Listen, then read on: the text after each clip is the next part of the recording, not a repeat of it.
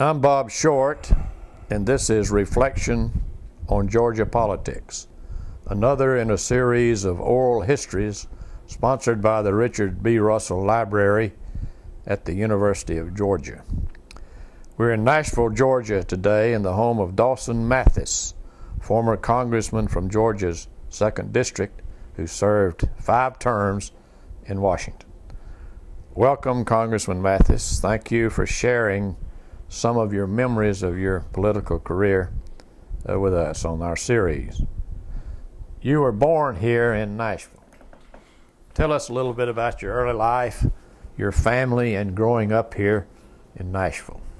Well, I don't know that there's very much that would be of interest, Bob, but I did grow up in Nashville in Berrien County.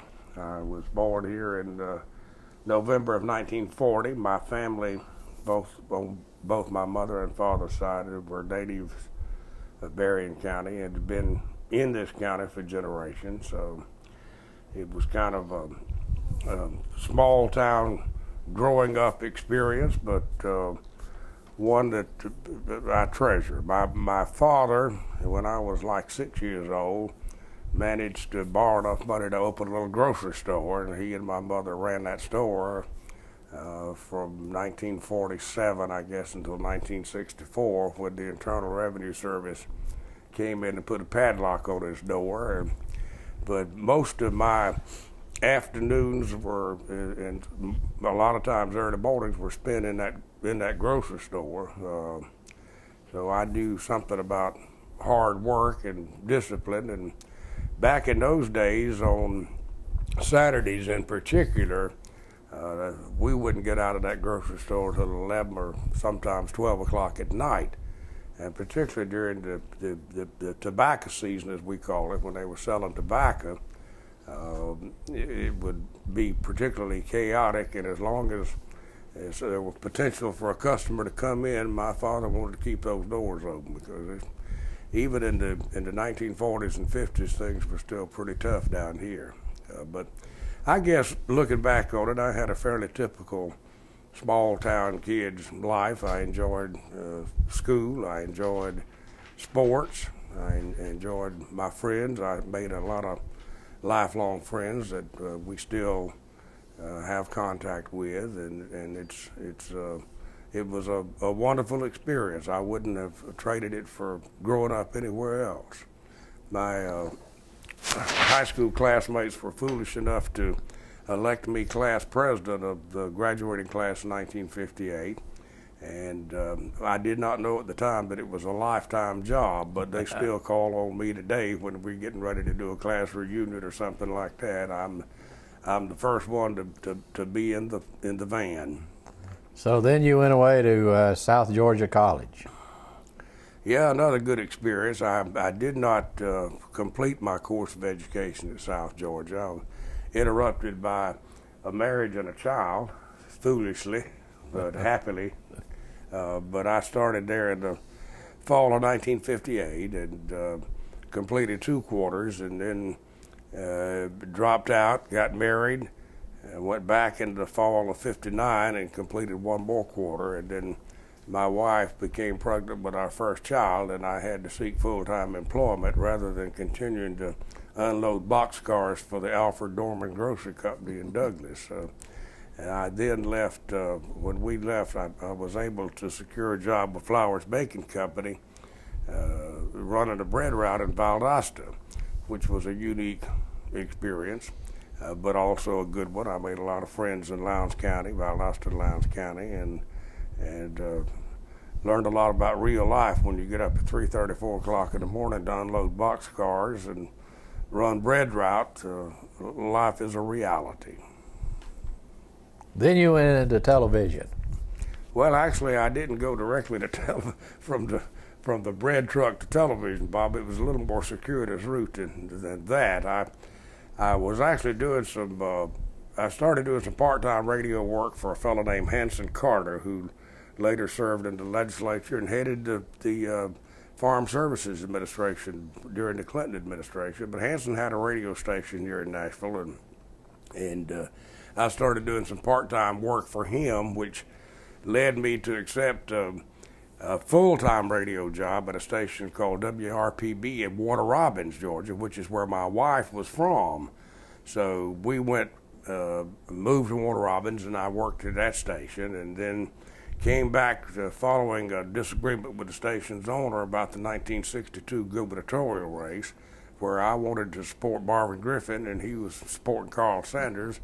Uh, we decided that we would it would be to our mutual interest to part company. So I came back to Nashville and worked with Hanson for a very short period of time, like six months or so. And then I moved to Hawkinsville and went to work for WCEH Radio, where uh, with a fellow named Jim Popwell, who was a great influence on my life.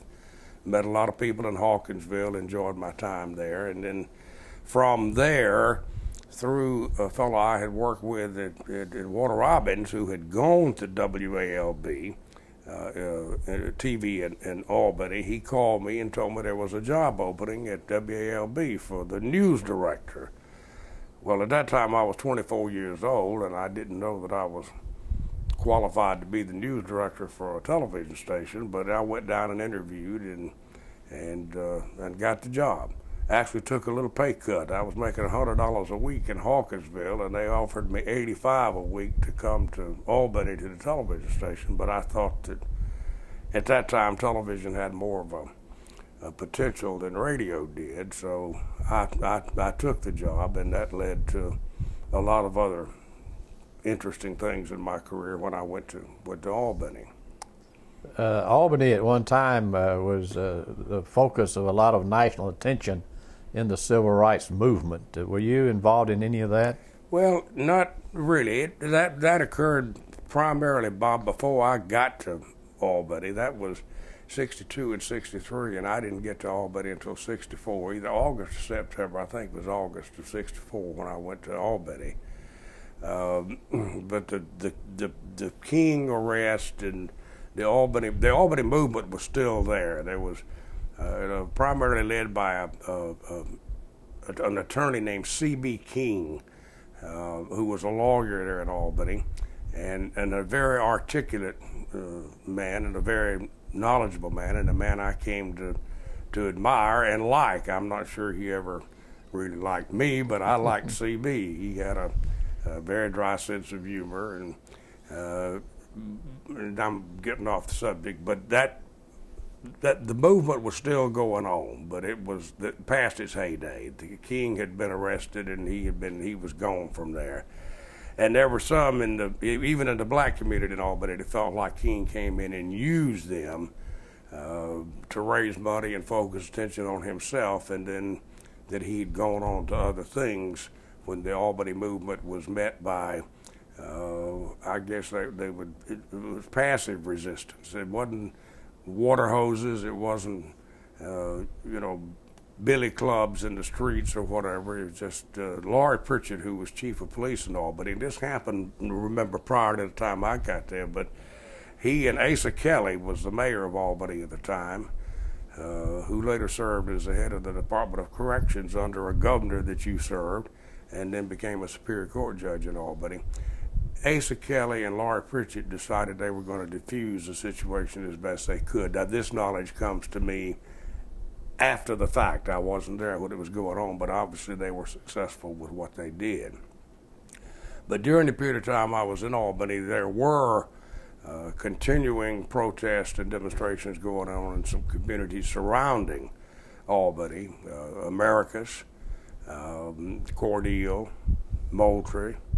Cordele is where I first saw an American flag burned on front of the courthouse in, in Cordele. I was there with a camera, excuse me, with a camera, and we recorded that or filmed it at that time. We were using 16 millimeter film at the television station, but the a group of uh, uh, protesters, black protesters, took down a flag and burned it, and that's the first time that I sold a piece of film to a national network. NBC wanted that film because there was nobody else there. And in those days, burning the American flag was just unheard of. Mm-hmm. But but I was there for Cordele. I was there for uh, for Moultrie. There was there were problems in Moultrie in the in the late '60s, and uh, those were interesting days to say the least. At what point did you decide to run for Congress? Well, I don't know that I can actually uh, say for certain that uh, there was a particular day. I guess it probably was when my predecessor announced that he was not going to run again. Maston O'Neal was, um, he, he, he, I don't know where you ever saw a picture or whether you ever knew Maston, but if you saw a picture of Maston O'Neal, you'd say that guy's a congressman. He had full head of silver hair, always wore a dark suit, beautiful white shirt, and a polka dotted tie. You never saw him with anything other than that polka dotted tie. But Maston was the kind of guy that he took everything too seriously. Um, he had three heart attacks in the six years he served in D.C. because he was so. My judgment is that he was so stressed out about making the right decision on every vote or every action that he took, and he didn't stay up there. He he was elected in '64 and served three terms. At, at, at the, April of 1970, in his sixth year, he announced that he would not be running again. And after he left Congress, he lived probably for another 25 years. So the stress, relieving himself of that stress, obviously prolonged his life. But he was a, an interesting fellow, very conservative. Once told me that uh, that there were two O'Neills in Congress, and if he needed to know how he was going to vote on any issue, he would just look and see how the other O'Neill voted, and he'd vote the opposite way. So I think it's safe to say that Maston was pretty conservative fellow. Of course, uh, at, at, that time, and I'm wandering off the point, but at that time, most of the Democratic members of Congress from Georgia and from the South generally were pretty conservative in their politics.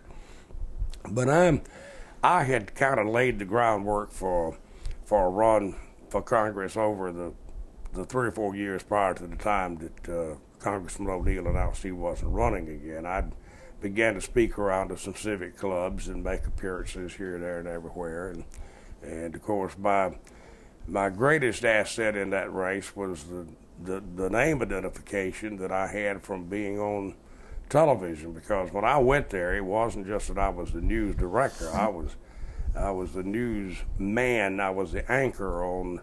I, I did it at 7:25 in the morning, 8:25 in the morning, at 12 noon, at 6 o'clock at night, at 11 o'clock at night.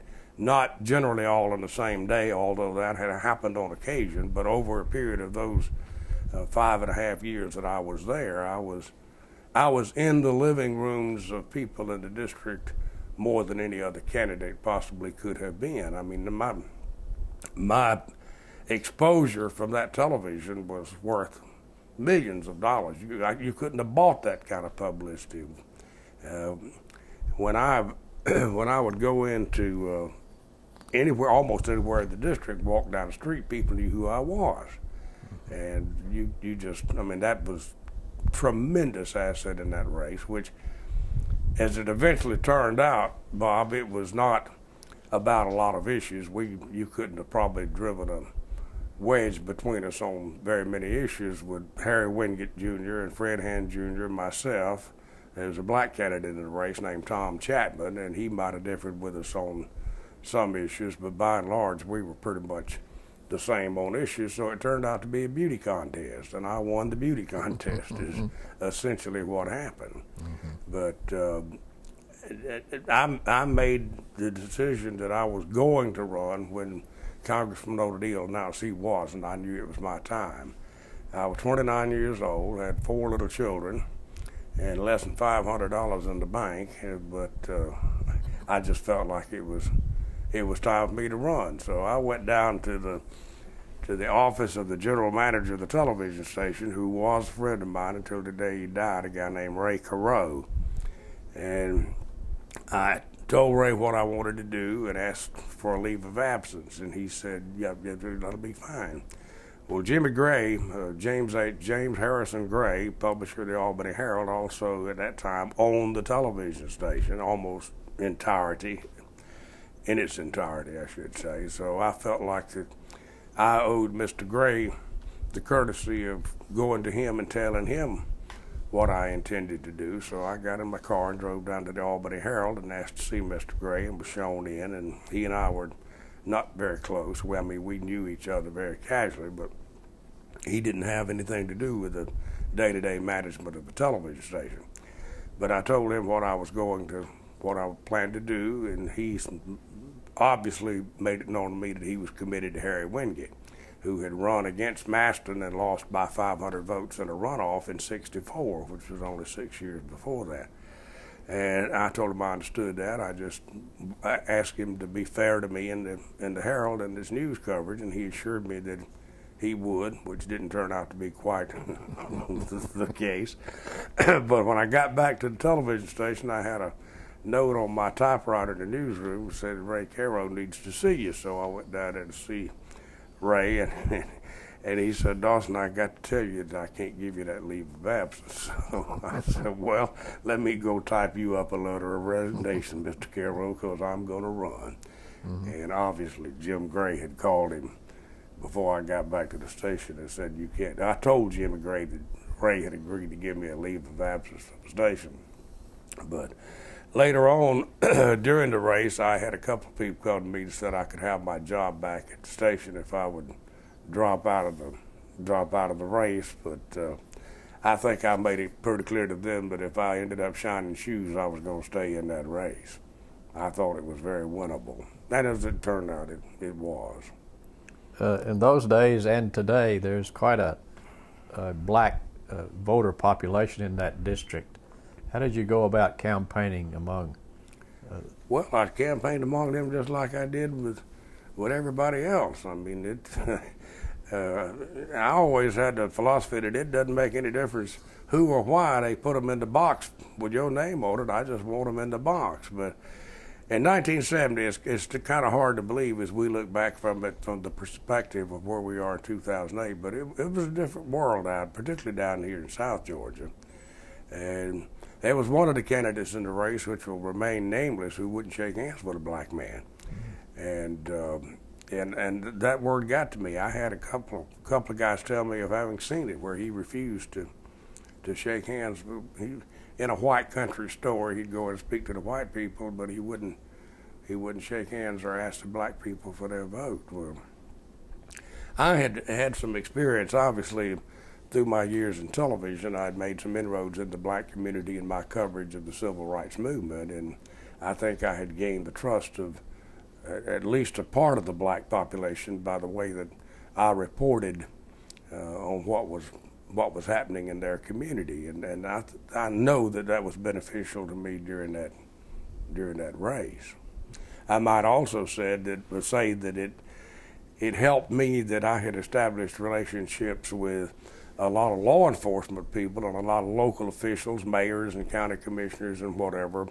Um, a, a lot of these people felt that the national media, uh, NBC, CBS, ABC was less a presence in those days, I guess, but that were not reporting what was going on accurately.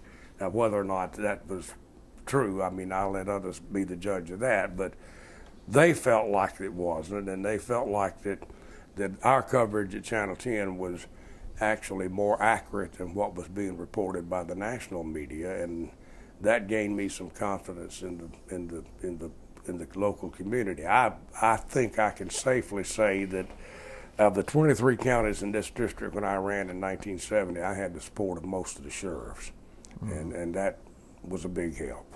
Mm-hmm. And you finished uh, first in the primary and then had a runoff. And uh, then you had the great pleasure of uh, facing a Republican in the general election. yeah, yeah, it was more of a pleasure in those days than it would be now, Bob, because in those days Republicans were not very numerous in South Georgia. But yeah, the people in this in that district gave me uh, like 40, 48 and change percent of the vote in the first runoff. So I mean, in the first primary, so we narrowly missed winning it without a runoff. Um, but then I was in a runoff with Harry Wingate, whose father had been the president of the Georgia Farm Bureau Federation, and he had been um, on Senator Russell's staff in D.C. for several years and had made and had made a run for Congress in 1964 and came within 500 votes of of beating Maston O'Neal for that open seat. So he was the prohibitive favorite, and I think most people thought he was he was going to be the winner. And uh, and Harry Harry was he was an interesting fellow. After that race in '64, he came. He stayed in Albany. He'd gone back to Washington. He ran for Congress actually the first time in 1954 when uh, Gene Cox died. There was a special election and J.L. Pilcher won it, and Harry ran in, and he was like about the same age I was when I was elected. He was 28, 29 years old, but he had been in D.C. and came back down to Georgia, ran in that race, and then when he wasn't successful, he went back to Washington, and Senator Russell put him on the staff of the Appropriations Committee, if I'm not mistaken, mm-hmm. and he served Senator Russell in that capacity until the 64 race when Mr. Pilcher announced he wasn't going to run again. Then Harry came back to Albany and uh, got in that race, and as I say, lost by about 500 votes to Maston O'Neal. Well, after that race, he stayed in Albany and began a, a, a practice of law over there, and and uh, was in the you know Rotary Club and got active in civic affairs over there, attempting to establish himself as somebody who was from the district as opposed to being coming down from D.C. to run. Uh, I, on the other hand, was a newcomer. I, Berrien County, my county, was not in that district at, at, at that time, and, and so I was uh, an outsider. I was the, the intruder, but that didn't uh, that did that didn't work because it the, the the runoff turned out to be a, a pretty uh, bitter affair on his part. I uh, he he went after me tooth and nail, and and and and I understand. I understood it at the time. I understand it today. It was his only chance. This was his third run for Congress, and if he was going to be elected, it had to be now. And and uh, we had a, a, televised debate on Channel 10, and they had a, they still have a, a, a, a noontime show over there called Town and Country, and they invited both of us to come and participate in a mini debate, as it were. And of course, we agreed. And and uh, Harry called me. Uh, he said, you know, we almost elected a boy to send to, to Congress, and you know, he's not a member of a church, which I was not at, at that time, even though my father was a holiness Baptist preacher, and, and most people who knew me personally knew that fact. That I wasn't a member of any civic club and blah, blah, blah, blah, blah, which wasn't quite accurate. But nonetheless, he went after me tooth and nail on that program. And when, when that program was over, the phone, every phone line at WALB was lit up. I sat at the front desk for about 30 minutes until they finally told me that the receptionist had to have her desk back. So they moved me to an open office, and I literally sat there from 1 o'clock until 5 o'clock, taking call after call after call of people calling in to tell me how treacherous they thought Harry had been and how nasty he was. And I knew then that the election was over.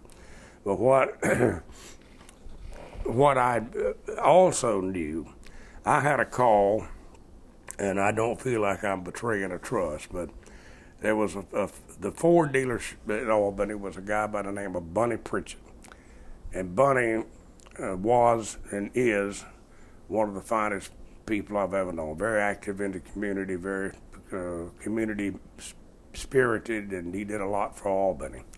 And everybody loved Bunny. He'd served as on the city council over there, just a good guy. And he and Harry were close friends.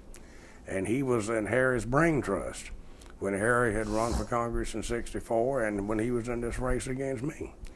Uh, but I was in my headquarters that morning. I don't know what I'm just there doing something, and the phone rang, and it was Bunny Pritchett. And Bunny said, Dawson, I want to tell you something.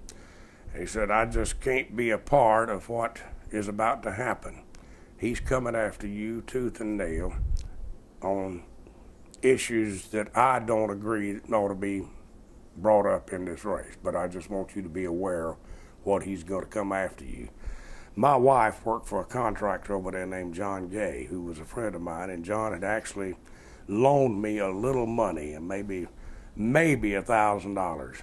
And he said, and, but John had a liquor store, so I became the candidate of the biggest liquor dealer in, in Albany on that program. And, and Bunny told me that he was coming after me for my wife's employer who owned that liquor store. So it wasn't as if I weren't a little bit prepared for what he was coming with, thanks to Bunny Pritchett. But Harry destroyed himself that day on that debate. He, the race would have been a lot closer had he approached it in a different way, in, in my judgment.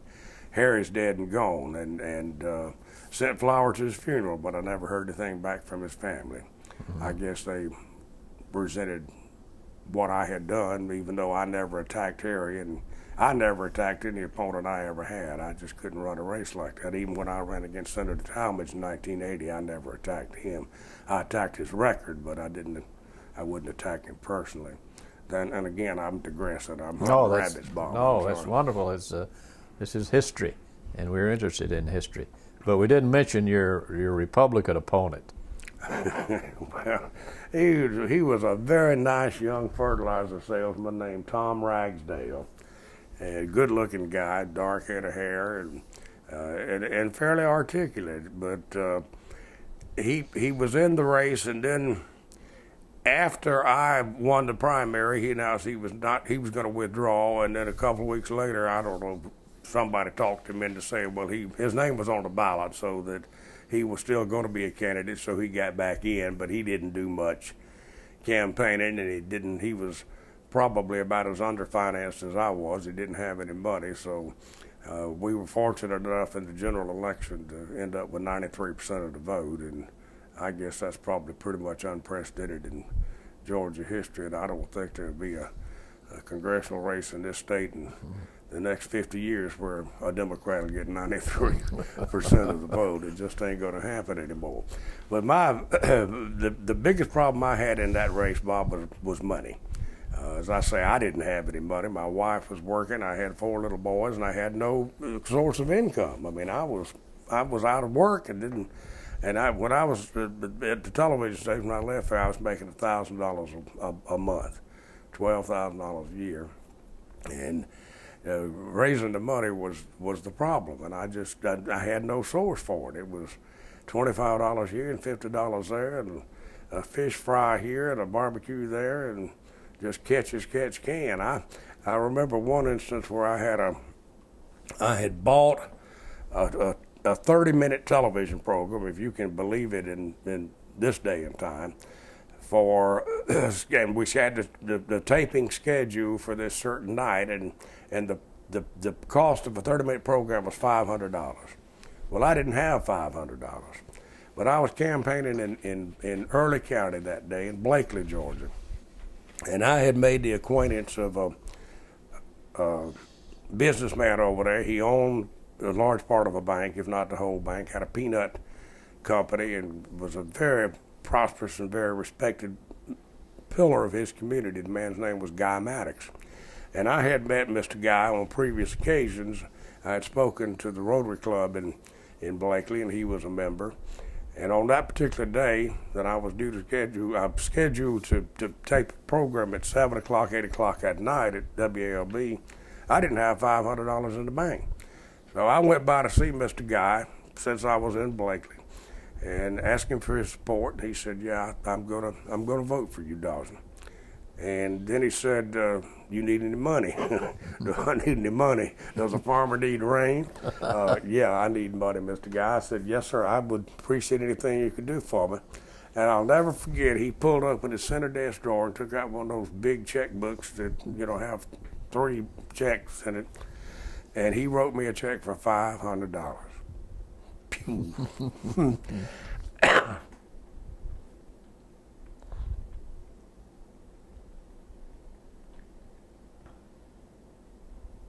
You never forget that. I came uh, straight back to the TV station, endorsed check, handed over to him, and we taped the program. Excuse me. So then it's off to Washington. Freshman yep. congressman, what, 435 members? You must have felt like a needle in a haystack up there. Well, I didn't feel out of place. I felt like that's where I was supposed to be. I had, uh, I'd never had any political experience, Bob. You'll have to excuse me. I get, I buried an uncle yesterday, and I'm still a little emotional.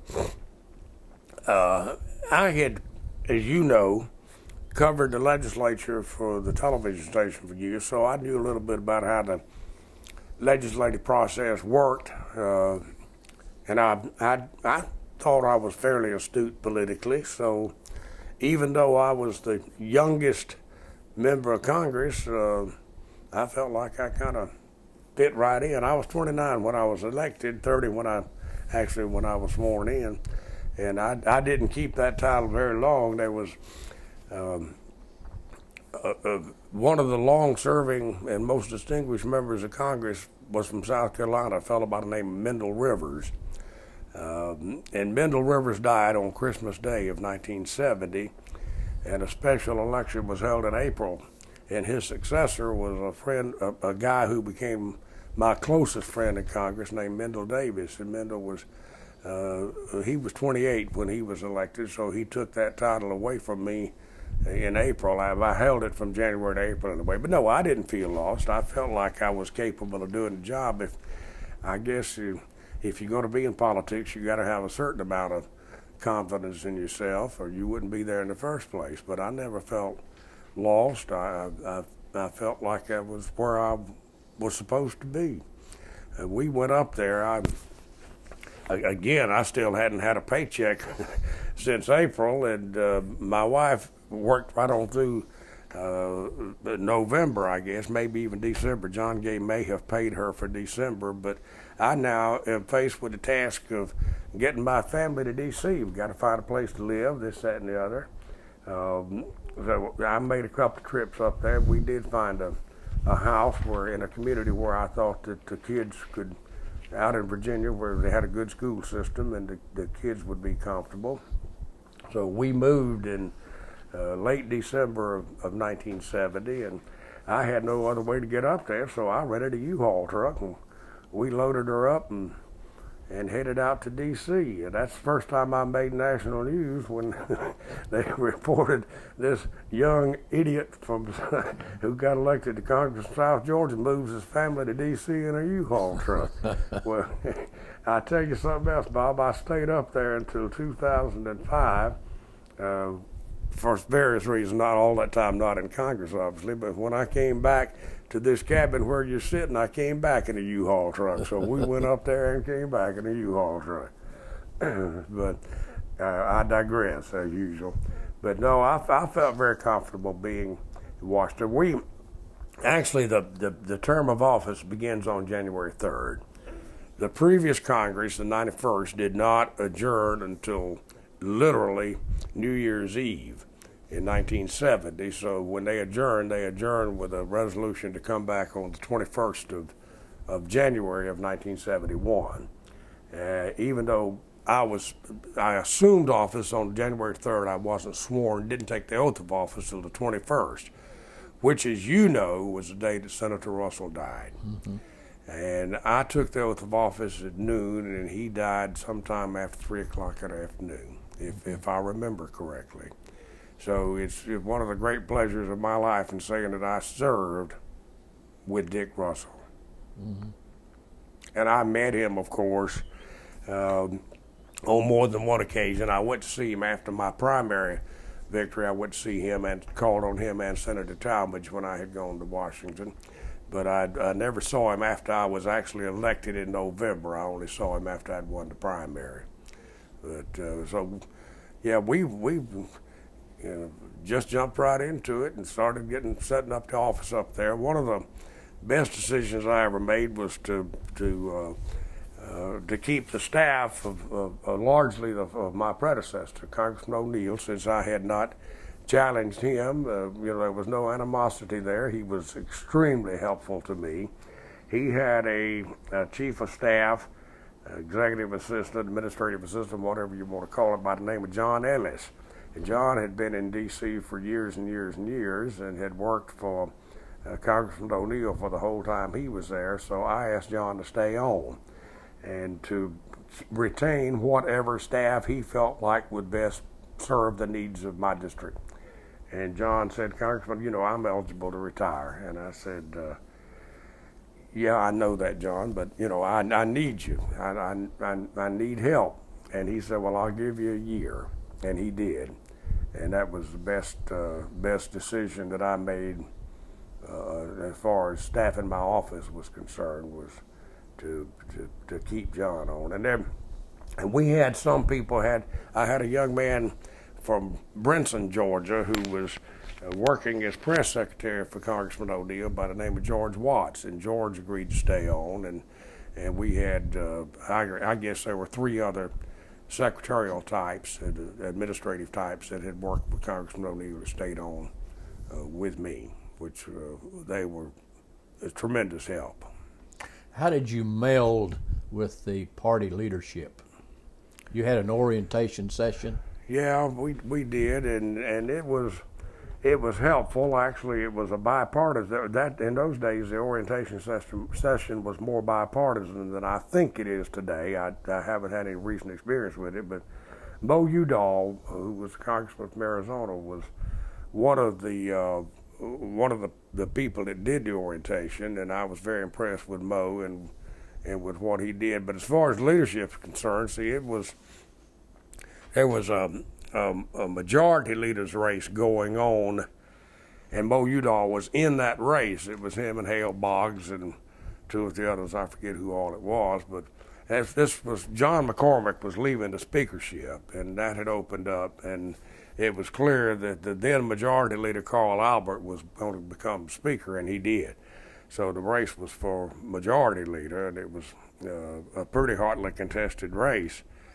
Um, and I, my first exposure to leadership, well, after on election night, I got telegrams from all these people, congratulations, you know, blah blah blah blah.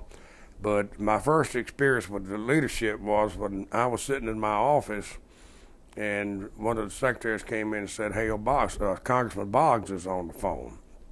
And so I, of course, answered the phone, and he said, "I it was." He, he said, uh, "Dawson, this is Hale Boggs. I need to see you." And I said, "Yes, sir. I'll come right over." He said, "No, no, no. I'll come to you."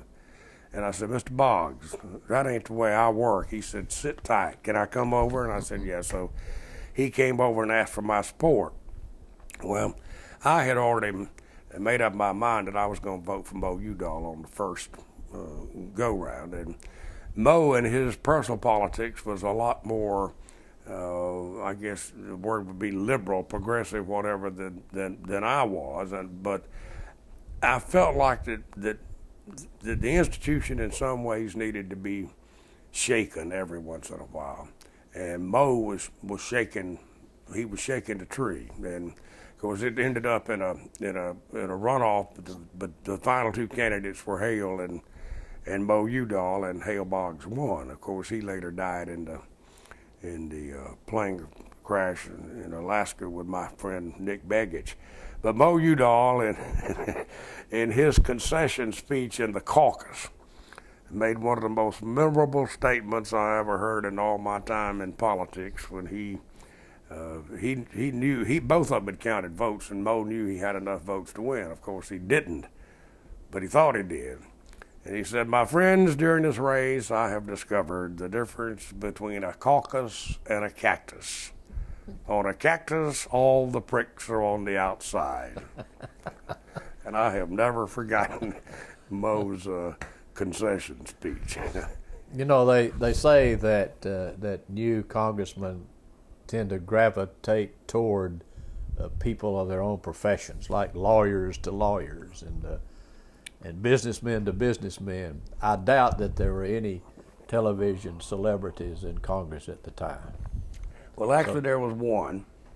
There was uh, Lionel Van Deerlin from San Diego, California, had done a commentary on television. He wasn't a real reporter, but he had done commentary on a TV program out there. and had gained some exposure.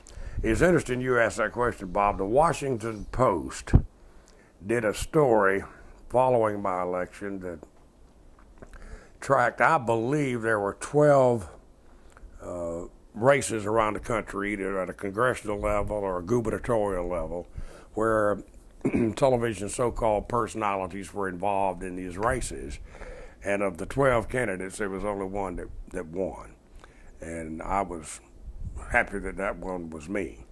But that that has changed. You know, Jesse Helms went to the Senate based on a television career in North Carolina, and and there have been others since that time. There also have been a number of professional athletes that uh, that have gotten elected. Uh, Jack Kemp, and of course, when I I went to Congress, I served on the Agriculture Committee with a fellow by the name of Vinegar Ben Mizell.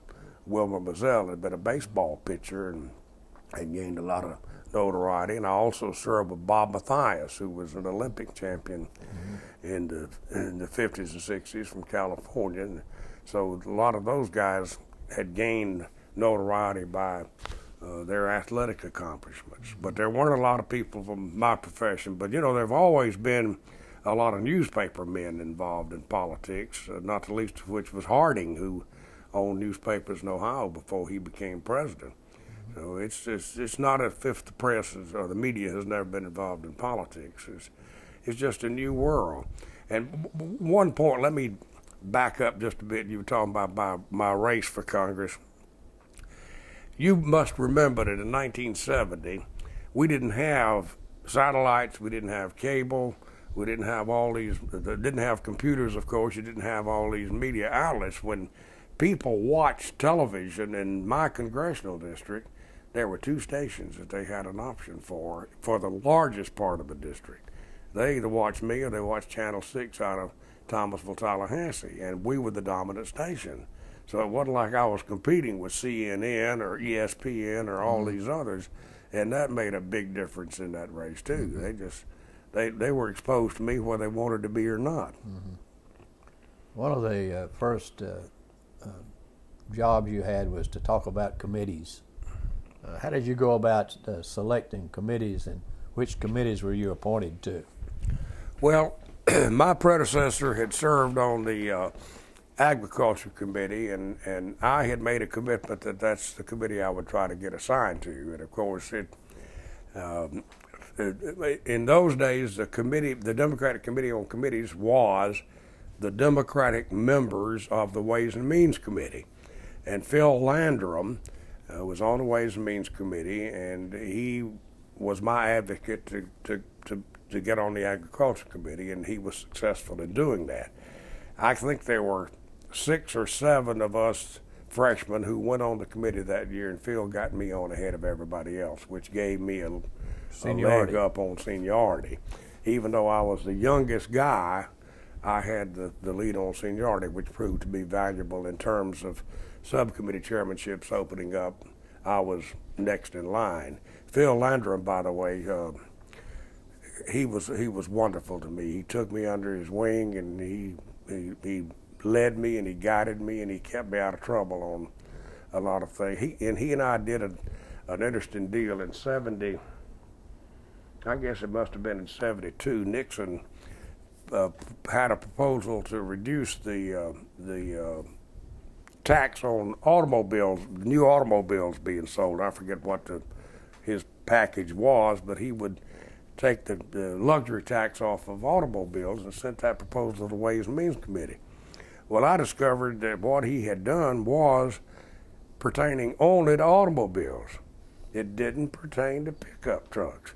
Well, behold, I've got a few pickup trucks in my district. So I went to Mr. Landrum, and, and his eyes lit up. He said, I think we got us a good issue. So he, we dropped a bill in together, and eventually, when the bill passed, it had the exemption for pickup trucks as well.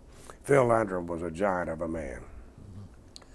Uh, were there other committees uh, besides agriculture? No, I, I didn't even try for another committee the first year. They they came. Phil came to me at the beginning of uh, I guess it would have been '73, the beginning of my second term, and said they they need we need you on the House Administration Committee, and that's the committee that uh, does housekeeping. It's, it's it's runs the restaurants. It's responsible for parking. It's responsible for uh, office staff allowances. But it's it's just it's a members committee more or less, and no glamour, just a lot of work.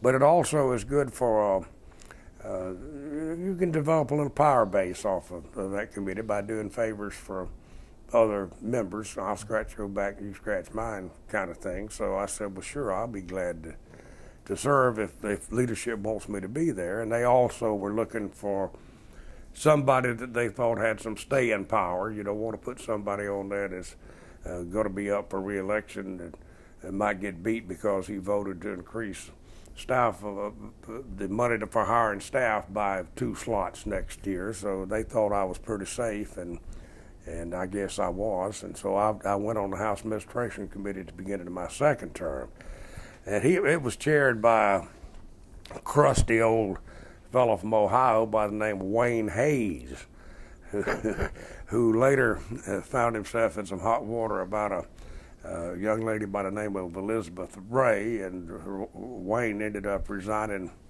uh, from from Congress as a result of that scandal. But I enjoyed that service on the on the uh, House Administration Committee. One of the subcommittees I served on there was the Elections Subcommittee, and following the Watergate situation with uh, with Nixon, we passed some new election laws, including the the, the, the public funding for presidential elections.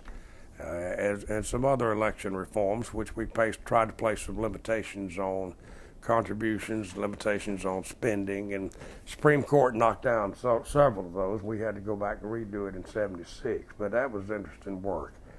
When they started talking about the uh,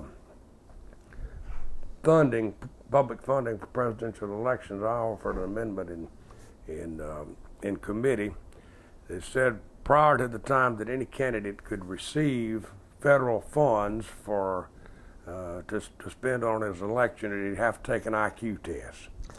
And he didn't have to pass it, but the results had to be made public.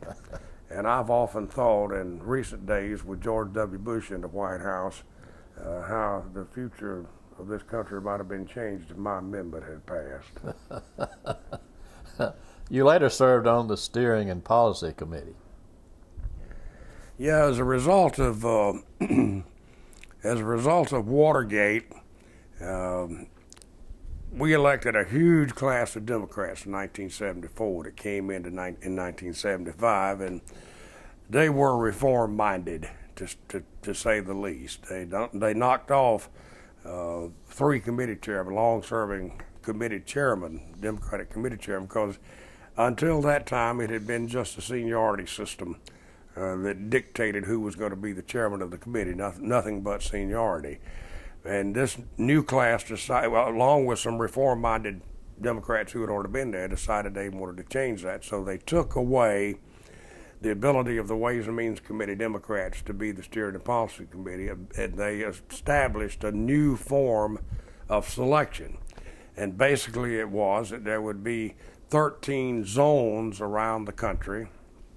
Uh, that would have one member elected by the Democratic members within that zone, and then the speaker and the leadership would have the other 13. Speaker having a seat, the majority leader having a seat, the whip having a seat, chief deputy whip, caucus chair, blah, blah, blah. So I got myself uh, elected from the zone that represented Georgia, South Carolina, North Carolina, and, and, and Tennessee. So I had the pleasure of serving on the Steering and Policy Committee for, for four years, which at that time was, well, I, my, my term had expired, but you could only be there uh, for four years anyway. But that, the Steering and Policy Committee is a very interesting committee because it, it makes committee assignments for incoming members or members that want to move from one committee to the other. So uh, that also gives you a little, a little clout little clout. Yeah, yeah, I wouldn't have used that word, Bob, but I wouldn't disagree.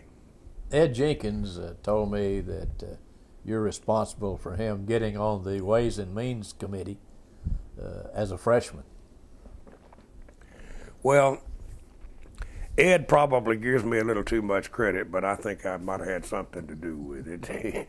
that little knocker would not give me any alternative I had uh, a handful of freshmen coming in that year, including three from Georgia. Not only Ed, but uh, Billy Lee Evans from Macon and Doug Barnard from uh, from Augusta. And Evans wanted public works, I can do that. Uh, Barnard wanted banking, I can do that. Jenkins wants Ways and Means. Well, there hasn't been a freshman to go on Ways and Means Committee in 50 years. A freshman Democrat may have been a Republican or two, I don't know. But I kept telling Jenkins, I said, Jenkins, you know, I got to have some backup. Give me some way out. He said, I can't, I don't want anything else. I said, well, Jenkins, you, if we don't get Ways and Means, which is one of the last committees that's assigned, you may end up on the D.C. committee. Now Jenkins said, "Well, I'll be the best member of the D.C. committee ever had." So, so he held out, and we were able to uh, we were able to prevail. But I got to tell you, Bob, all seriousness, and Jenkins knows this. He's never admitted it to me, but his predecessor, Phil Landrum, had something to do with that too, because he had a lot of friends that he left in Congress, and he Ed had had, had worked for Phil, had served Phil for a number of years, and I know Phil called on his friends to to help Ed. But we also had uh, another Georgia. We got we put Wyche Fowler on the Ways and Means Committee, and actually I had four. I put four. Well, I nominated and was able to help get four members from my zone on that committee in one year, and I must say that's it's, it's a little unusual to be able to do that. I had Harold Ford from Tennessee and Kenny Holland from South Carolina, Ed Jenkins from Georgia, and Wyche Fowler later in the in the year from Georgia. Isn't it unusual to have two members from one state? Depends on the size of the state, but yes, it is. But particularly a state size of Georgia, I mean, at that time I think we had eight Democratic members, but but it's uh, a little little unusual. Let's get back to you. Uh, there's an expression around Washington which I've heard many times is that freshmen should be seen and not heard. Uh, do you remember your uh, first floor speech? I don't. You do you? do, do you remember your first vote? I, I couldn't tell you that. No, I couldn't. Uh, I, I just I, I, I know that whenever whatever I was talking about, I must have been nervous as a cat, but I don't remember it today. I couldn't tell you that. Could it be the, for speaker in the caucus? Well, that would have been in the well, yeah, it would have been even in in in the. Uh, yeah, that would have probably been the first vote. It would have been the first vote would be for for speaker. Yeah, and, and that, that, would have been for Carl Albert. Carl Albert, yeah. Yeah. Okay. Uh, Jenkins also told me that he had a mentor uh, who was Phil Landrum. Did you have one? Phil Landrum. Phil Landrum. Yeah, Phil Landrum was extremely kind and generous to me. He kind of took me under his wing, as they say, and he introduced me to a lot of people, and, and he helped me a lot. He, the chairman of the Ways and Means Committee at that time was Wilbur Mills from Arkansas, and Phil and Wilbur Mills were very close. And this is prior to the time that it was known that Wilbur had an alcohol problem. You know, he ended up in uh, with with a young woman who was somewhat notorious as a dancer called Fanne Foxe and jumped in the tidal basin one night after she got out of Mr. Mills' car. But Wilbur had a little hideaway right off the floor of the house, a 208, uh, H208, and about bull bat time every day, a lot of the older members, including Phil, would go have a pop with Mr. Mills in that little hideaway there, and and they started inviting me to come by there and and uh, and socialize with them, and I I was you know I was taken aback at first, but then it was a I realized what a high honor it was to be accepted by the old bulls, and and parenthetically, I never saw Wilbur Mills take a drink. Uh, I had I was I couldn't have been more shocked when all this came out about him. But he certainly Wilbur Mills was certainly one of the most knowledgeable and intelligent men I've ever ever known in my life. He he was the tax code, um, and and he ran that committee with an iron hand. But Phil Landrum had a great deal of sway with Wilbur, and they were very very close friends. And when when they invited me into that inner circle, I felt like I had I had arrived, as it as it were. But they were very good to me, particularly Phil Landrum. what was the interrelationship between the Georgia delegation? Well, by and large, it was good, well, particularly among Democrats. Um, but I, I guess Stuckey was the was the the newest member of the delegation until I got there. He went there in '66 and uh, were elected in '66, sworn in '67, and I came in '70.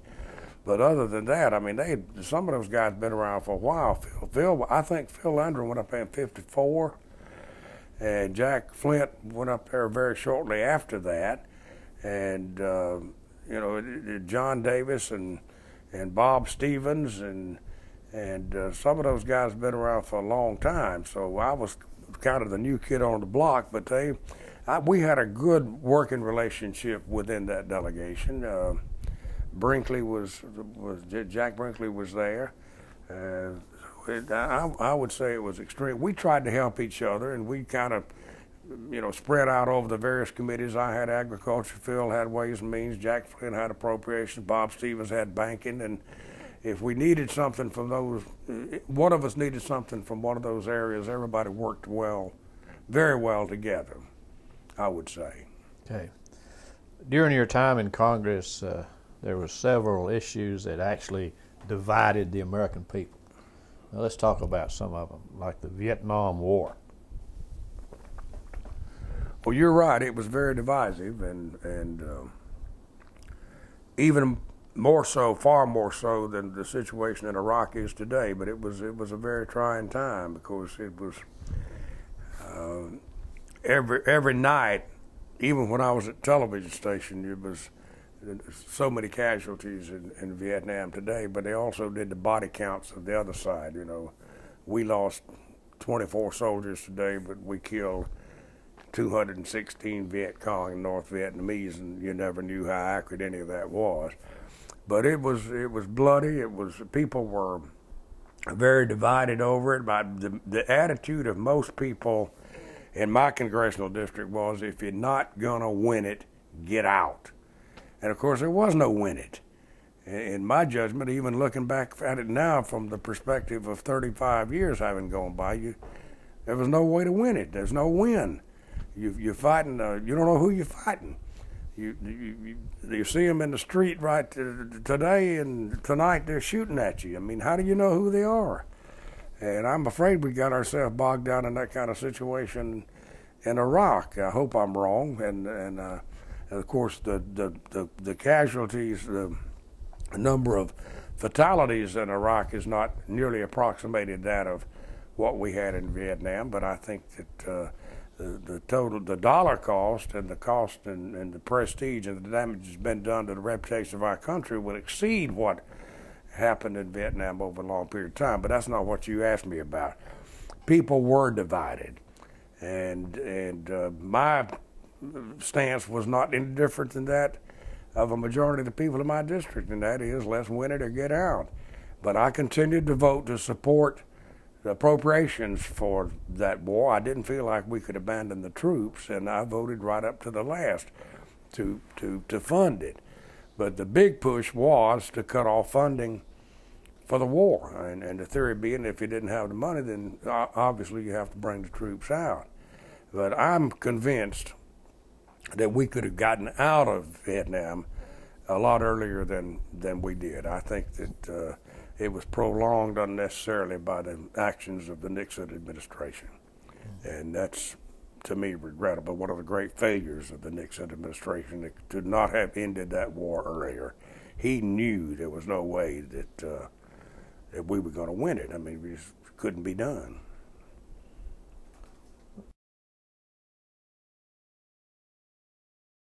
Dawson, President Nixon resigned on August the 9th. Uh, 1770, 1794. 1794. Yeah, uh, uh, under the, under the Bob, I was not there in 1794. under the threat of impeachment.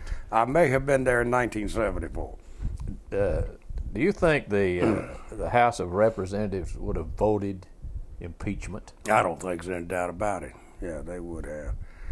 Uh, for a number of reasons. Uh, I'll, I'll, tell you a little story that you probably want to edit out when you make the cut on this, but when they had the, the, the famous 18 minute gap on the tapes came out, they had, up until that time, the Nixon administration had made the conscious decision politically that they were going to stonewall it.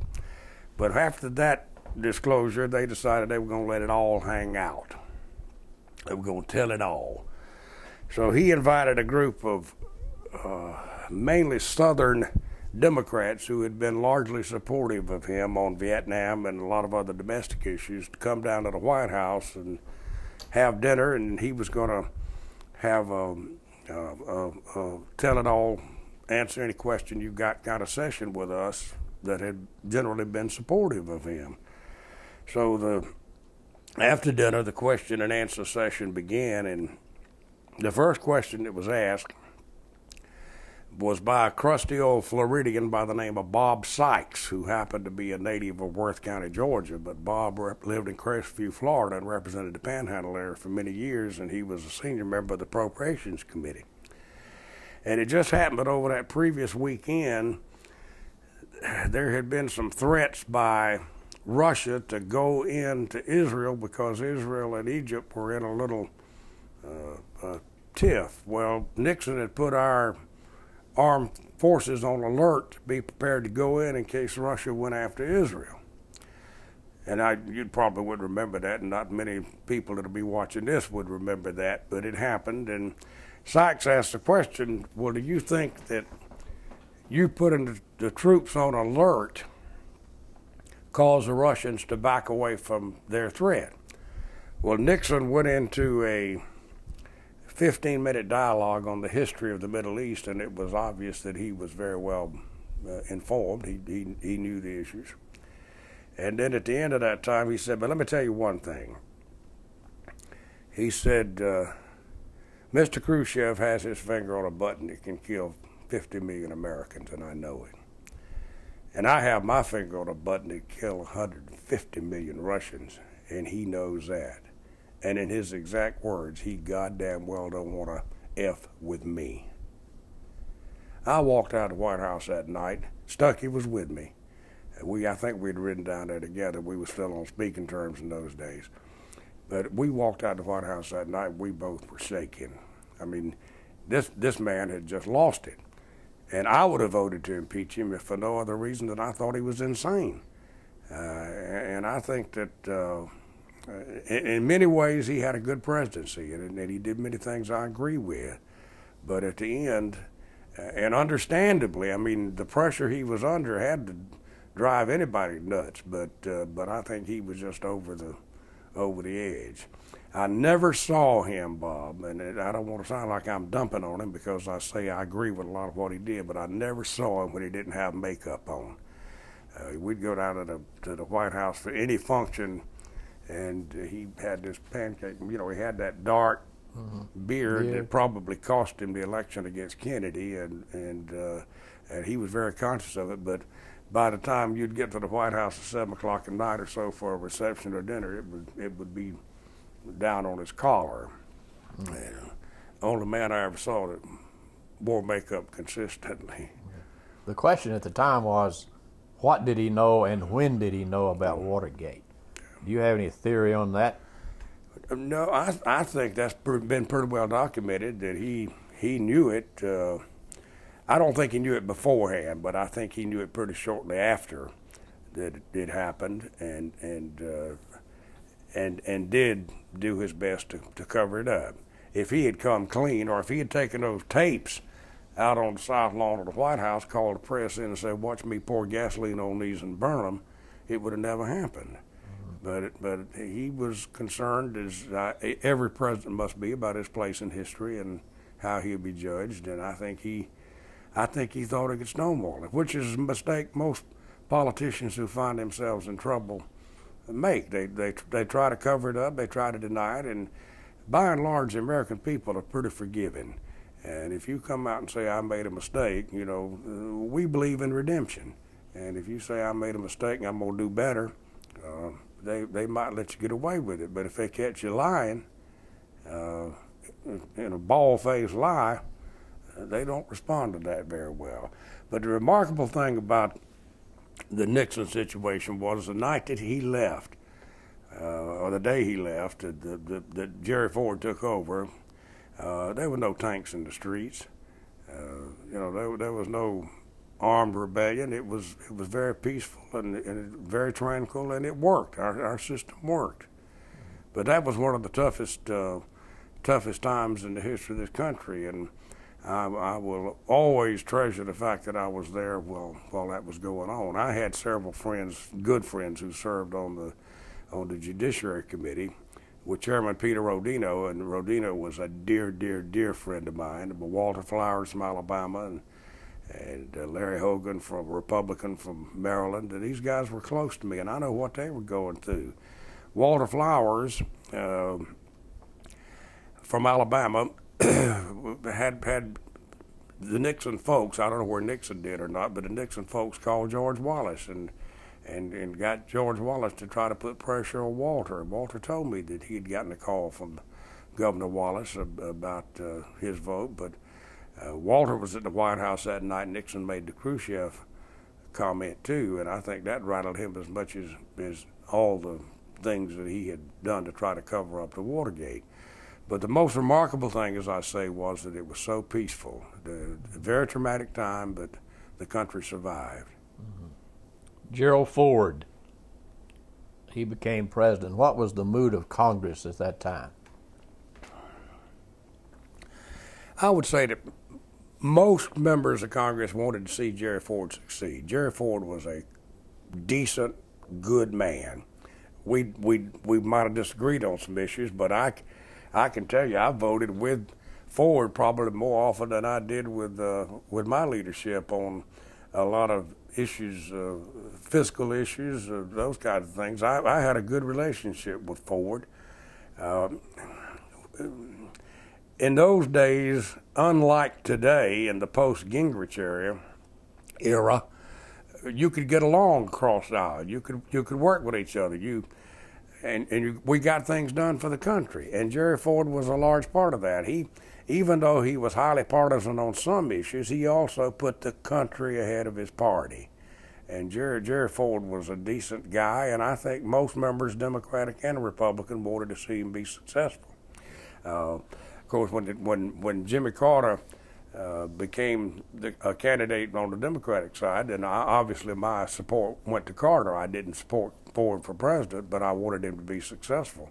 I want every American president to be successful, but uh, but Jerry deserved better than he got I, in in retrospect. And as far as the reputation he had for for clumsiness and you know the, Chevy Chase character off Saturday Night Live. That wasn't Jerry Ford. Jerry Ford was a good athlete. He wasn't a brilliant man. I certainly wouldn't say that he had the uh, the IQ of an Ed Jenkins or Elliott Levitas, but uh, but Jerry was no nobody's dummy either. A good good man, good guy. You think that Watergate was the reason for his defeat? Well, I'm not sure of Watergate per se. Watergate had a lot to do with it. There's no doubt about that. But I think the fact that that uh, he pardoned Nixon probably, as a result of Watergate, probably had more to do with his defeat than anything else. Plus, Carter was a charming candidate. He was a very attractive uh, candidate, a fresh face, an alternative to business as usual in Washington, and and uh, you know that million dollar smile, and and I will never lie to you. Uh, it, uh, all those things contributed, but I think probably pardoning Nixon probably cost Ford more than anything else. You recall the Abscam scandal? Shoot, I reckon.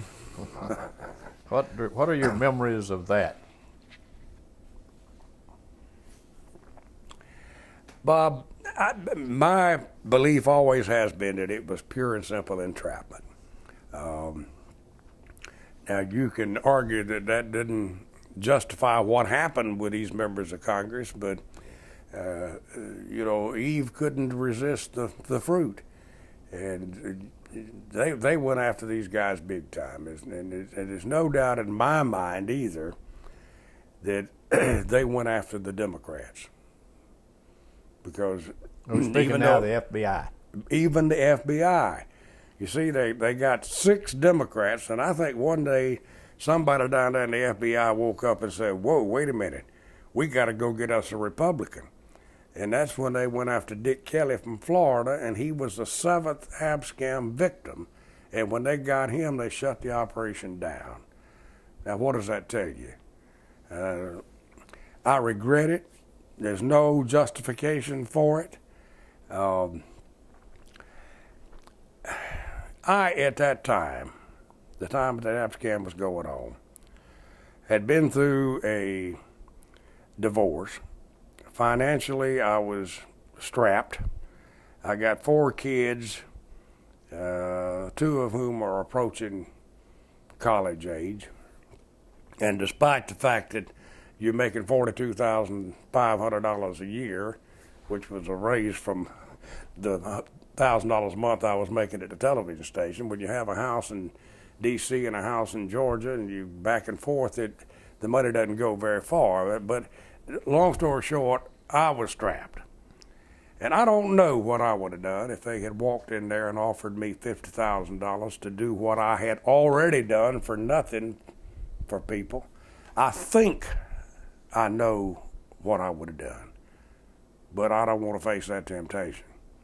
Um, what, what these guys were asked to do was to introduce a bill to prohibit Bob Short from being expelled from the country. He had been here on a visa and he wanted to stay. And if you introduced a bill to say you can't expel him, that bill would be referred to the Judiciary Committee. And until the Judiciary Committee acted on that bill, Bob Short couldn't be expelled. So, I mean, that's it's a. I had nurses who were here from the Philippines who had overstayed their uh, visa but they needed the hospital where they were working needed them. So the way you keep them here is introduce a bill, and and it, it you know you do it for nothing. If somebody comes in and says, you know, something you do for nothing, I'll give you fifty thousand dollars to do. Uh, it, it, it could be a it could be a pretty big temptation. I'm glad I wasn't exposed to it. You mentioned having a home in Georgia and having a home in Washington how did you balance your duties as a congressman and your need to campaign in the district? Well, I, I, guess that came pretty easily to me. My, I told you I moved my family up there in, in, December of 1970, but they didn't like it. My wife didn't like it, and the children weren't happy, and so we decided that uh, we'd, we'd, we'd move back to the district. I, when I was there, it was like I was coming home almost every weekend to campaign or to, to, to do events or whatever the reason might be. And so we moved uh, back to Albany in 72. And that way I did see more of them actually than I did while I was in D.C., but still I didn't see nearly enough of them. That's what politics does to you, particularly when you have a young when you have a young family, as I did. Um, in retrospect, uh, I, you can't change anything, and there's not a lot I would change. But I probably, uh, I probably got into it too early. My kids should have been older because I, I missed a lot of things with them that I regret. Um, I just guess I wasn't the kind of father I needed to be. I've tried to make it up to them since. I don't think you ever really can, but I'm closer to all my children now than I ever was when they were small, and I feel like that I missed a great part of their lives. But when you're when you are when you're in politics, that happens. Unfortunately, it takes a toll on the family. Mm-hmm. Just before you left office in uh, in '80, uh, Carter was president, and we had the uh, Iranian hostage problem. Uh, do you think that this country could have done more to, to have them freed while Carter was president? I don't know what it could have possibly been, Bob. I mean, I, I really don't. Uh, the, the, the only way I guess you have a chance of getting them out of there outside of diplomatic channels is to do what they tried to do. And uh, Carter didn't screw that up.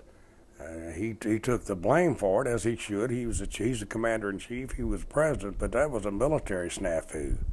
Uh, when they had the, the disaster out there in the desert, but I don't know what possibly could have been done more to uh, to get them out of there than what was. And there's no doubt in my mind that the, the Reagan people cut a deal with the Iranians to, to have them released if he were elected. Uh, I mean, it's got to be more than co- coincidence that they were released uh, the day he was sworn into office. Mm. And of course, we know later on what happened with his arms for hostages, the deal, which is just, to me, uh, one of the darkest episodes in American history. But uh, but most of the people down in our part of the country think that Reagan was probably one of the finest presidents we've ever had. I I have uh, a little differing opinion on that. I think some ways he did do a good job. Other ways, he nearly bankrupted the country. Carter became president, and uh, he was uh, accused of not having good relations with Congress and not having good effort to get along with Congress. Is that true? Well, I don't think he did all he could to, to get along with Congress. It was kind of like when he was uh, governor of Georgia. I think that uh, when the legislature didn't do what he wanted to, he kind of went uh, directly to the people, and that's just not going to work in a congressional setting. And he, he also was uh, a little, maybe not him personally, but his staff was a little reluctant to, to, to let his friends help him in Congress. And there's no, there's no doubt that there was some antagonism uh, between him and Congress. Uh, he and he and Tip O'Neill, Speaker O'Neill, never had the kind of relationship that O'Neill later de- developed with Reagan. I think that uh, Tip and, and Ronald Reagan got along a lot better than Tip and and Jimmy Carter did. Uh, Tip had a particular dislike for Hamilton Jordan. He, he called him Hannibal Jerkin. uh, and, and, he he uh, Hamilton kind of they had the the attitude, well, we want it and it's ours, and, and we're going to run this thing. And you, know, you you just got to you got to have some help. You've got to you can't dictate to the Congress what they're going to do because, uh, particularly on the House side, you know, the only way you get to become a member of the House of Representatives is to be elected by the people. You can be appointed to the Senate you can be appointed vice president and become the president, as Jerry Ford did, but if you're a member of the House, you've been elected by the people. And uh, I love the institution, I always will, and I got a great deal of respect for it, but we can be pretty independent cussers because we ain't got to answer to Jimmy Carter. We answer to the people in our districts. And I, I think the president's got to realize that if he's going to be successful, he's got to learn to deal with with the, with the particular members of the House. I think sometimes the Senate is easier to deal with for a president than the, than the House is. Another rap on Carter was that his staff was too inexperienced and too Georgian. I won't deny it. I think there's a great deal of, of, uh, of truth to that. Billy Evans told me one time when Billy was was a member of Congress, Central Georgia, Macon he, he said, Mathis, you ever have trouble getting to the president? I said, yeah, I, I do. He said, well, I've, I figured out, uh, no, do you ever have trouble getting to Hamilton Jordan? And I said, yeah, I do. And he said, well, I figured out how to get to Hamilton Jordan. I said, well, how's that, Billy? He said, well, I called the White House say I need to speak to the president. He said, Hamilton will call me back. If I call Hamilton, he'll never call me back, but he wants to know what I want to talk to the president about. So I started doing that, and doggone if Billy Evans wasn't right so that, but Hamilton, uh, may he rest in peace. I liked Hamilton, and he was he was a good guy, uh, and went through a lot of travails in his final years. But but I think that uh, that that there was an arrogance there that we won it, we earned it, it's ours, and uh, uh, yeah, I think I think it may have been he he needed more a, a broader base of experience than what he brought with the crowd that he brought to Washington. But there were some very, very competent, capable people. Bert Lance, uh, you know, a very, very talented man. Jody Powell is still in D.C. and has done very well for himself in in, in private practice. Um, there are there were a lot of good people, but I think overall they, they needed more diversity and a wider uh, a wider background of experiences than what they brought to the White House. In a situation where you run for president as an outsider, usually when you arrive in Washington, you are an outsider. That's correct. How do you work your way inside? Well, I think you have to do it very, very carefully. You have to, you have to show first of all that you're willing to work uh, with the with the Congress, and and I think that's integral to it to to be open to them. You you, as I said earlier, you can't dictate to Congress what they're going to do. You have to reach out and, and say, you know, how can we accomplish this? How can we working together get this done?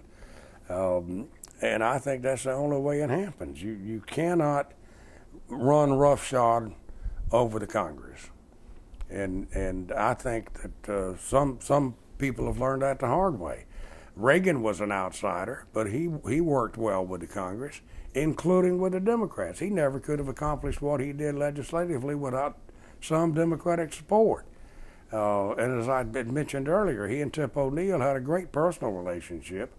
They might fight like cats and dogs about some issue, but at the end of the day, Tip would go down to the White House and they'd have a drink. And that's the way I'd like to see it be today. Unfortunately, it's gotten to be so uh, so much of a cat fight on both sides of the aisle that they just don't seem like they can come together to do anything that's good for the country. And I regret that. 1980 you decided to run for the United States Senate. What prompted that decision? Well, I thought I could win. that ought to be fairly obvious, Bob. No, it was it was very clear that Senator Talmadge was in some trouble. Uh, I, I saw polls. In fact, I had polling done that said he was not going to be reelected, and and and th- those polls were correct, and I was correct. What I didn't foresee was that there'd be so many people, other people in the race, including Zell Miller and Norman Underwood. Uh, I thought, and I still think, if I could have gotten him one on one, that I could have, I could have won. I knew Zell couldn't. Zell at that time was perceived, if you can believe it, based on his uh, actions in the past few years. He at that time was perceived as being too liberal for Georgia, and once he got into runoff with Senator Talmadge, Senator Talmadge just kind of annihilated him. But uh, I, I thought that, uh, that that the time was ripe. Senator Talmadge had had the prob the ethical problems, um, uh, and then he'd had the, the alcohol-related problems, and I thought he'd been weakened to the point where uh, I could take him on. And as it turned out, uh, you know, I was correct that he wasn't going to be reelected. I just didn't foresee that it would be a Republican uh, that would do it the re- Republicans were just beginning to come into to prominence in Georgia in those days. But uh, Mac Mattingly, who was a nice guy, was probably about as weak a candidate as you'll ever see, uh, and certainly was about as weak a senator as you're ever going to see get elected to the Senate. Uh, but it, it, and several people, not several, well, many people talked to me about switching parties and running as a Republican, and probably if I had done that and were able to secure the nomination, I might have won that seat. But I wasn't going to walk away from uh, the Democratic Party. Not that I had, well, it, I just, it, it, to me, it wouldn't be right. You dance with a girl, what brung you? Um, unlike Zell Miller, who I think is a real turncoat and has uh, betrayed many of his friends and loyal supporters who helped him over the years, and he just turned his back on him and thumbed his nose at him in these last few elections. And uh, I've lost all respect I might ever had for him. Well, getting back to that campaign uh, in 1980, uh, uh, financially, were you in good shape? Were you oh. ready to run? no, no, we were not, and I guess all told during that period of time during that entire race, we probably raised about a quarter of a million dollars. I was severely underfunded, and I knew uh, weeks ahead of the election that I was not going to win. Um, we we couldn't raise the money, uh, and I guess probably the, the the the hardest period of my life was getting up every morning and going out to those factory gates at five o'clock in the morning and shaking those hands when you knew you were not going to win, and uh, trying to keep your staff going keep them buoyed and uh, keep their spirits up. And it's uh, it was a it was a tough time, but you know we had no had no choice but to go forward with it. Uh, I, I, I must say that I gotten a little bored in the house. It, it, it, you know, you sit through the same peanut hearing uh, year after year after year, hear the same witnesses talk about the same problems.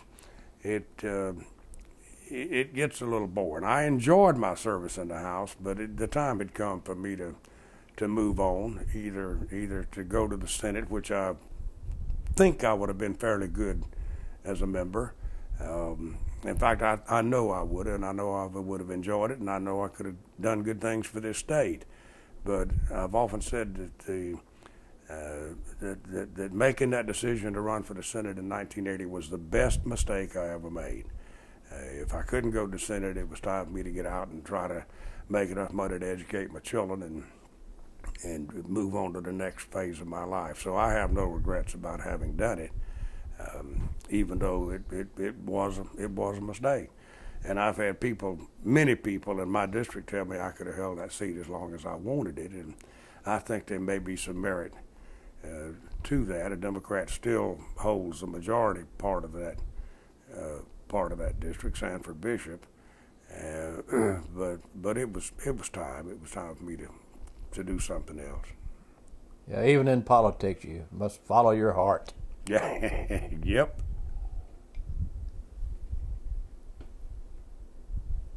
Let's talk for a minute about party politics in Georgia, since you mentioned that. Um, 1964, President Johnson told our Senator Dick Russell when he signed the Civil Rights mm-hmm. Bill that he had turned the South over to the Republicans. That eventually happened. But in Georgia, it took 40 years. Now, how do you account for all the other southern states becoming Republican while Georgia held on to the Democrats for that 40 years?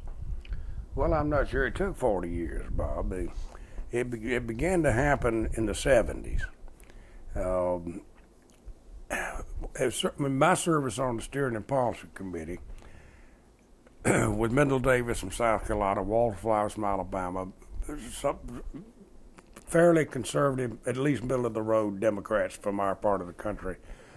We told the Steering and Policy Committee time after time where we are going to lose our seats in the House is going to be in the South, and you could see it happening. And, and it, it, wasn't happening that fast in Georgia. Bo Callaway was the first Republican elected to Congress from Georgia, and he was elected in 1964.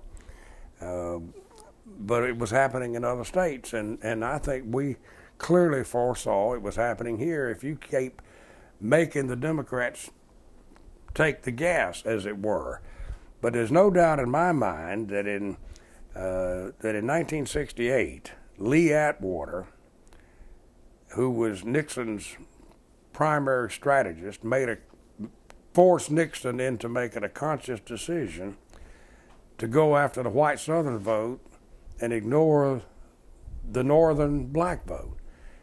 It probably happened even earlier than that. In 1960, there were signs of that. If you remember correctly, Jack Kennedy called Martin Luther King's wife while he was in jail down here uh, to, to, to say that they were going to do everything they could to try to get him out, and I think that probably turned the election. Now, in spite of that, Jack Kennedy carried Georgia by the second largest margin of any state in the country. But the, but the, the Republicans for years saw that the white vote was up for grab in the South. And they did everything they could to go after that vote. And, and they've done that consistently since 1968. Um, it's the, the way they win elections is not on issues anymore. I mean, you talk about issues like war and peace or the economy, and it's race and religion. It's smear and fear. It's gays and guns. Um, and and that's unfortunately that's what it's become. And and that, as I said earlier today, when when I was in Congress and Jenkins and Evans and these guys were in Congress, you could work with your counterparts across the aisle. It didn't matter that they were Republicans or you were Democrats. Let's get something done for the good of the country. But since then, it's like, you know, they're at each other's throat. They they run on these issues, and I think Newt Gingrich is more responsible for this than anybody in, in the country when he started going after Jim Wright with all these uh, half factual things that destroyed Wright's career. But they pick out your opponent's weak points and go after him, attack him personally. And that's what it's become, unfortunately. And I think we need to get back to to the day where men and women of goodwill can sit down across a table, no matter what their political backgrounds, and try to do what's right for the country. And unfortunately, we're a long way from there today, and it's regrettable. Here in Georgia, how do you see the future of the Democratic Party over the years? I think that uh, I think that it'll it'll swing more back Democratic as as uh, the minority uh, population continues to grow, uh, and even I think some some people will come to realize who now are more inclined to be Republican that they really uh, have been duped over the years by what these Republicans are telling them. They're going to do something about abortion. They're, you know, when when I go into the uh, the polling place, I'm not going in there to call a preacher. I'm going in there to vote for who I think will do the best for the country. And and sooner or later, a lot of these folks are going to realize they've been fooled. The Republicans are going to look after the pharmaceuticals and the big bankers and the big oil and the insurance companies, and they do that at the expense of the working folks. And and working folks are told, well, we're, you know, we're not for gays. They're the, the the Democrats are against guns. You know, they they get all these wage issues that they never do anything about, and they can't do anything about them because of court decisions. But uh, people continue to to buy into it. You know, I, I drive by some some pretty uh, dilapidated mobile homes down here a lot of times. See a junk heap sitting in the front yard with a Bush 04 bumper sticker on the back of it. And what in the world are these people thinking? I mean, I, I don't know, but I I think that's going to change over time. That clearly the minority population of Georgia is is uh, is growing, and I I think that they're going to uh, tend to vote uh, more democratic, and the, the, the, the, Georgia delegation now is closer back to a balance between Republicans and Democrats than it was. It was almost all Democratic for years and years and years, and then it was heavily Democratic, and then it was heavily Republican, and now it's swung back to a degree. You hear a lot of complaints, at least I do, from old-time Democrats that uh, that our state party is uh, uh, is is too dependent upon minorities and labor unions for support, and they aren't happy with that. Is there a balance? Has to be a balance, Bob, and I think there's some legitimacy to that perception. I'm not true that it. I mean, I'm not convinced that it's actually true that the party is dominated by minorities and labor unions and uh, liberal academics or whatever it may be. But I think that's the perception that's out there. And uh, of course, you know, it's gotten to be, at least in in South Georgia. I don't know where how it is in the mountains up there where you are, but it's socially uh, correct to be Republican. It's it's uh, it's part of the you know if you're going to belong to the to the Kiwanis Club or the or the Country Club or the Rotary Club, you you know you're just Republican. It's and at one time it was that way with the Democrats, but but that's all been changed by these other things that we were talking about. But uh, I, there there is certainly some truth to the perception that the party is dominated by minorities and, and labor. But and I don't know how I don't know how you fix that over a period of time. I just don't know. Well, up in the mountains where I came from, you, you've already hit the nail on the head. It's uh, it's God gays and uh, guns, and that's yeah. and and NASCAR. Yeah. Oh yeah. That's how yeah. they vote, and uh, you can have counties with my home county up there now, for example. Every office holder is Democratic, but they have voted. The people have voted Republican in state elections and in national elections for years. And it's that, and which brings up a question I want to ask you. Crossover voting. We do not require party registration in Georgia. Is that good or is that bad?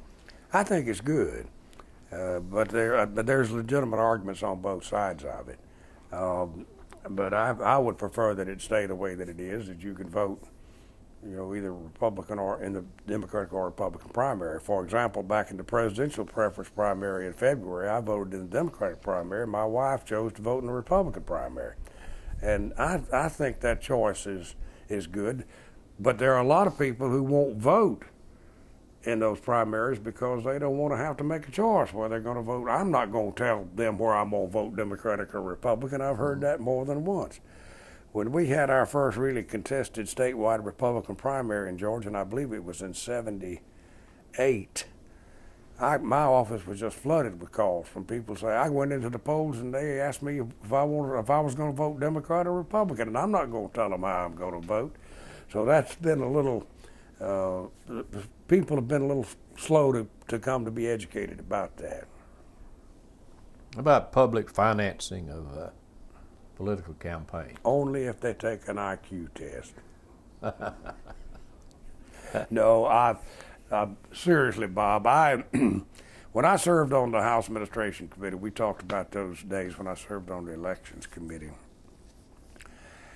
I opposed public financing. I, I ended up supporting it in the presidential uh, presidential election, but I have come to believe since those days that that is the answer. That public financing is the answer.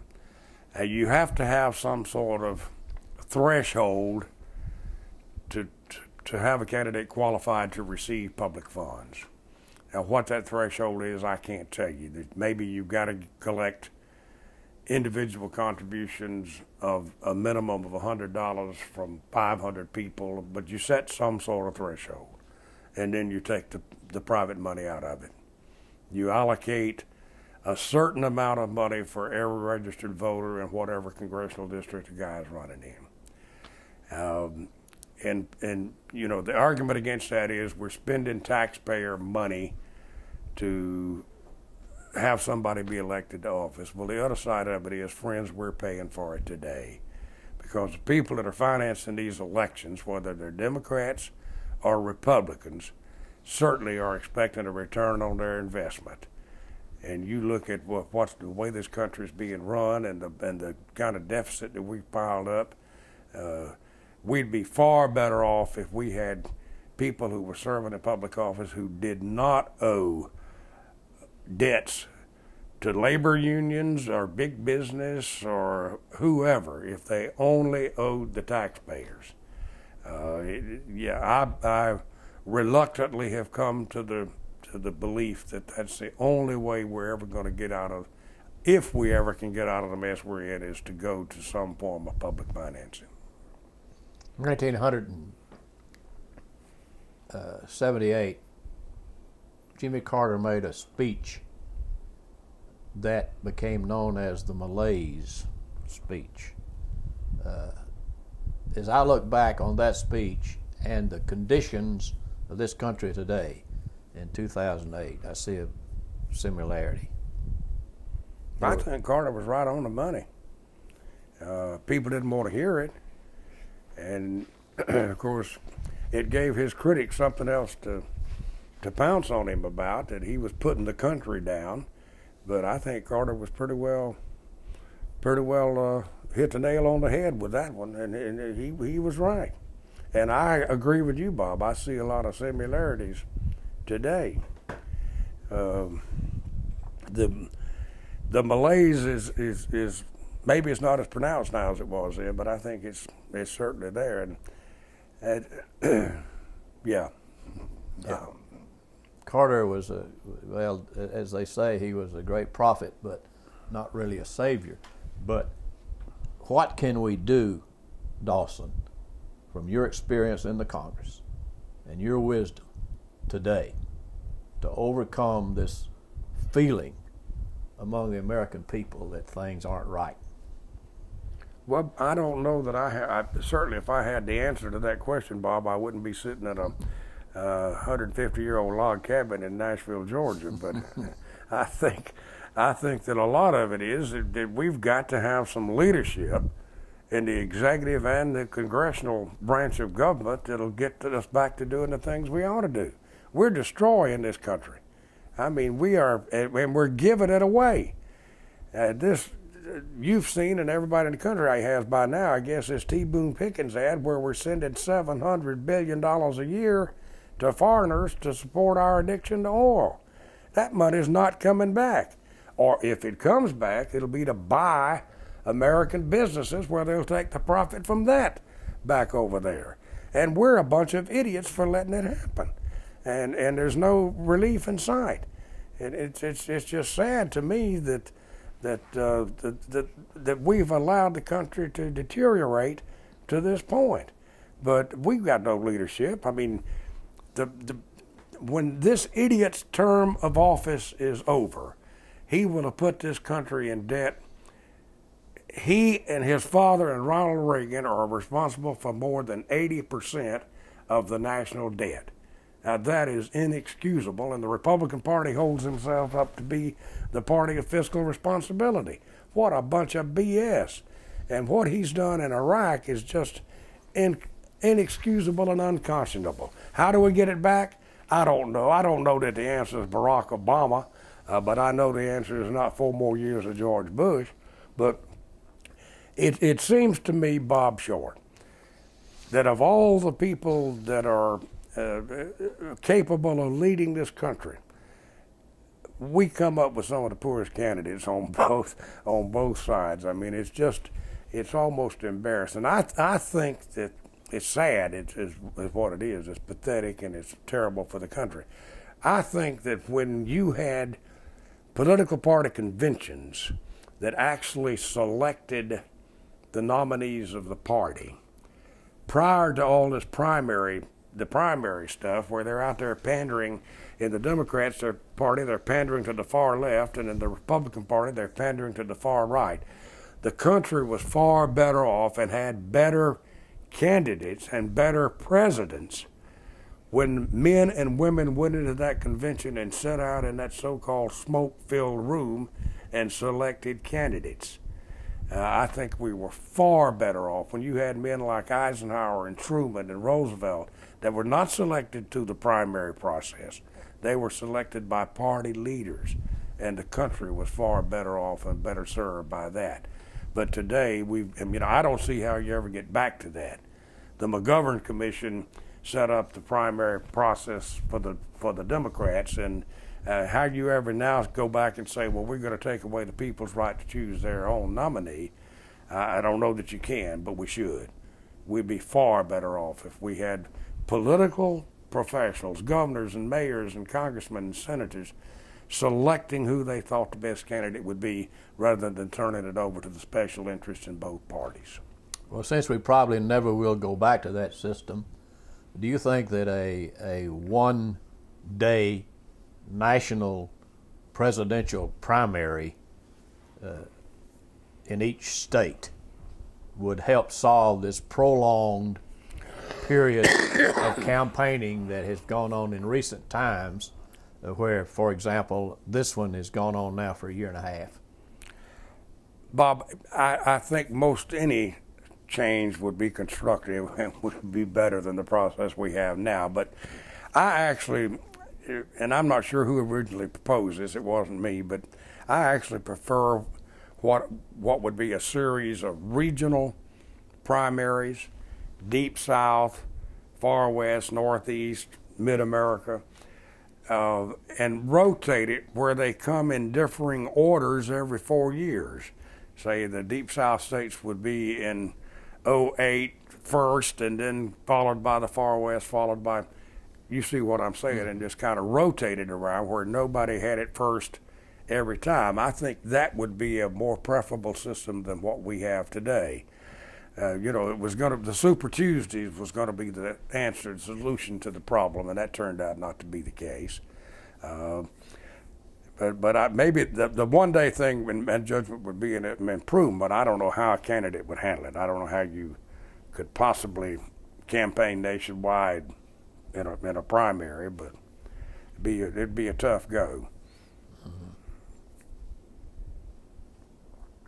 What's been your proudest moment in politics?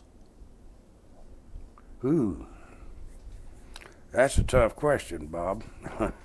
I never thought about it. Uh,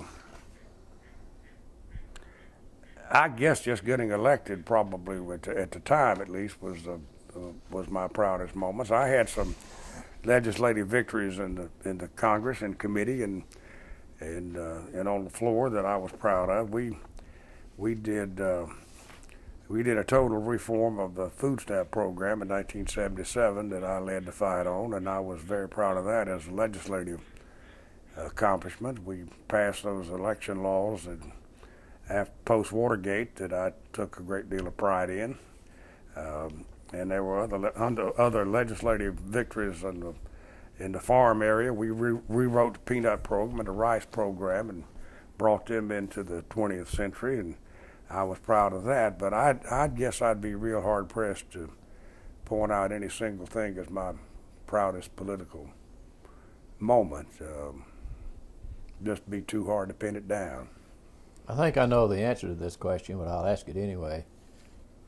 What has been your biggest disappointment? Ooh, politically? Politically.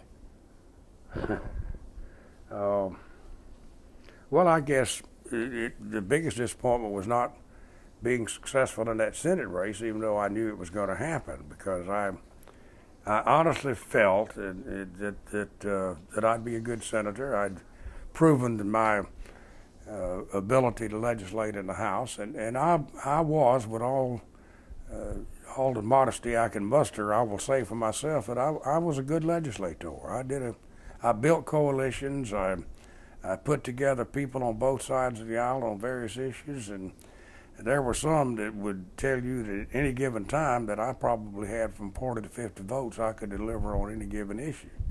And that put me in a in a position of, of some influence in the House, and I enjoyed that. And it was it was recognized by some. There were some newspaper stories in Atlanta papers in the late 70s that talked about my, uh, some of them called me a riverboat gambler and a and a cowboy and a rogue, but they acknowledged that uh, that we were able to build these coalitions and deliver these votes. And so I, I, I regret that I wasn't able to, to take that ability and that energy to the Senate on behalf of the people of Georgia. But there again, I, I can't look back on it, and I, if I had to do it again, I'd, I'd do the same thing. I'd, I would, uh, I'd make the try. You got to grasp for the ring, even if. Uh, if it, if it eludes you.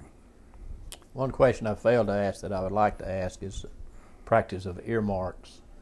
There's been a lot of uh, criticism recently uh, about earmarks. Uh, what's your opinion of that? i am of two minds, Bob. I, I think some of them have just been totally, ridiculously outrageous like my good friend Don Young from Alaska tried to build that bridge from Ketchikan over to that island for two hundred and fourteen million dollars.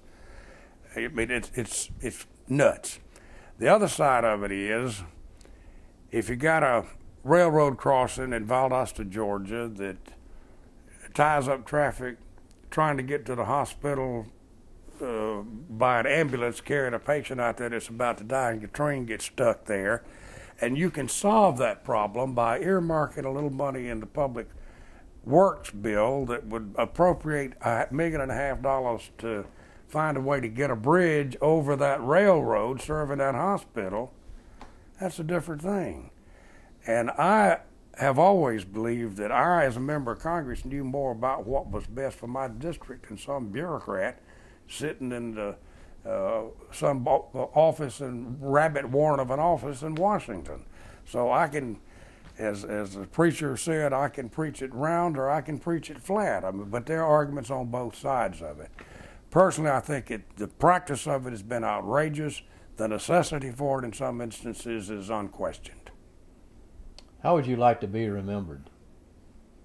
Uh, uh, well, I'd like to be remembered as a as a good son, a good husband, a good father, a good friend, a good neighbor.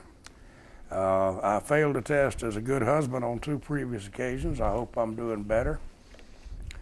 Certainly, certainly pray that I am. I'd like for my children to remember me as somebody who uh, loved them very deeply and, and cared about their future. I've done my best to educate them and help them all I can. And I wish that uh, I could call back a, a, lot of those years that I did not spend with them and, and redo that time. Of course, you can't, obviously, you can't do that.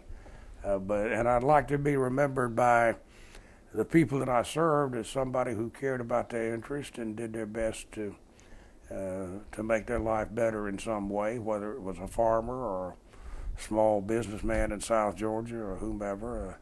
Uh, and I think that I carried that reputation with me when I left Congress. I, I'd like to think that I, I still have people uh, that I haven't seen. There's a lot of people I don't even know. I might be walking down the street in Valdosta or Tifton, and somebody will recognize me and say, "You helped my Uncle Joe get his VA check."